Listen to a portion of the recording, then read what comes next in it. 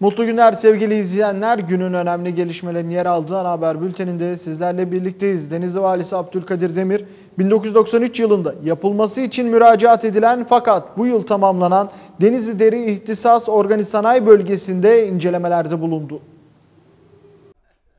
İnceleme öncesi toplantı salonunda organize sanayi bölgesine ilişkin açıklamalar yapıldı. İlk konuşmayı Deri İhtisas Organik Sanayi Bölgesi Müdürü Mehmet Güran, ilk başvuruda 108 işletmenin faaliyette olduğunu, bugün ise 14 firmanın katıldığını söyledi. Yeni modern tesisleri geçmenin mutluluğunu yaşadıklarını da belirten Güran, Türkiye'deki en iyi bölgenin Denizli'de olduğunun altını çizdi.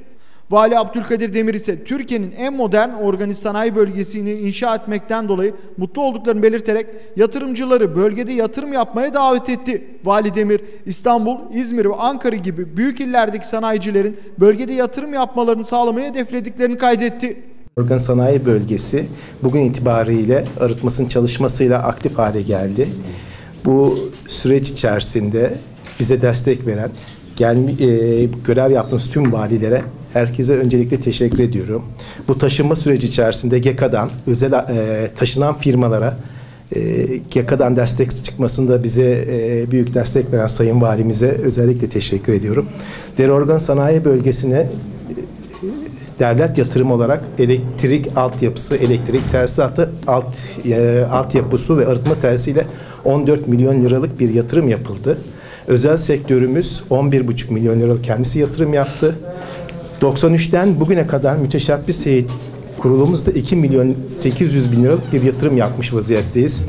Deri Organ Yönetim Kurulu Başkanım e, Mehmet Bey, e, Müteşebbis Heyet Başkanı da e, İl Özel İdaresini temsilen e, benim. E, ve e, burada hakikaten çok önemli çalışmalar yapılmış. Başkanım da ifade etti. E, yani ilk dilekçeyi verdikleri tarih 1993.